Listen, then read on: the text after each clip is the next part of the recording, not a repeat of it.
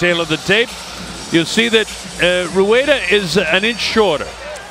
He's a pound lighter. He's three years older, and he has an advantage in reach, which is the biggest difference, a two and a half uh, uh, inch reach advantage, where Valdez has a one inch uh, height advantage. Anything below this line is a foul. Give me a clean fight. God bless you both. Touch up. Russell Mora, final instructions. We're set to go. This is scheduled for 12 at stake, the WBO World Featherweight Championship. This is going to be a great fight. I can just tell. Oh, big shot! That rocked the legs of Rueda. They're still. He's in big trouble. Yeah, he's in trouble now as uh, Valdez Jr. nails him with another left hand.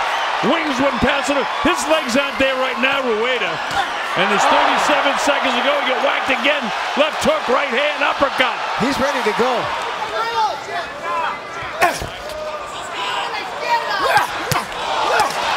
Good body shot. Look at Rueda's eyes. It looks like he's got two black eyes already. See that right on the button with that jab. Look at the, look at the left eye. Oh, man, look at these shots. Valdez loading up shots. Left hook powerful again. Body shot powerful. And he has to get down. That caught him on the liver. That last body shot. And Rueda has to go down for the first time. Seven. That time a left hook upstairs and back downstairs. But I'll tell you right now, Rueda's taking a beating. Look at these right hands, left hook, right hand, the liver shot, and down he goes again, right on top of it. This fight's all over. Oscar Valdez Jr. has knocked out Matias Rueda.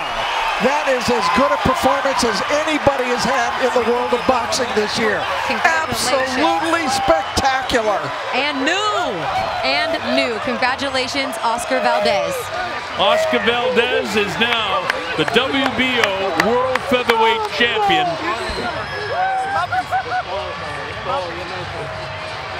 Démelo.